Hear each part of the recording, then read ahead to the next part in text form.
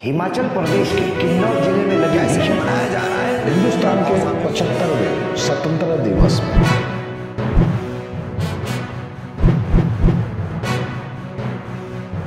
आज का महानगर में आपका स्वागत है। मुंबई पुणे एक्सप्रेस हाईवे पर एक तेल का टैंकर ओवर स्पीड के वजह से पलटी हो गया और उसमें आग लग गई। आप वीडियो में देख सकते हैं किस प्रकार पूरे टैंकर को आग की लपटों ने घेर रखा है।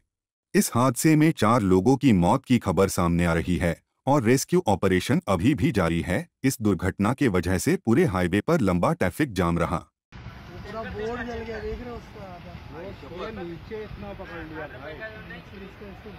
ऊपर में पलटी हुआ नीचे में वरती पलटी झाला खाली आग फेकली. वरती की खाली अरे अरे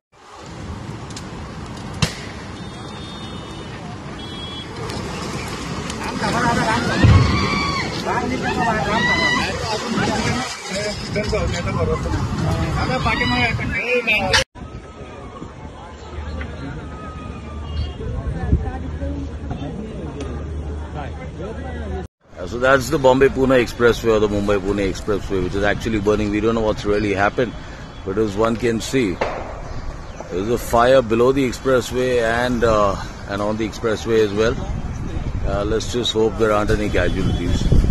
That is, that's the way it is. अब ते काय आहे तो पेट घेते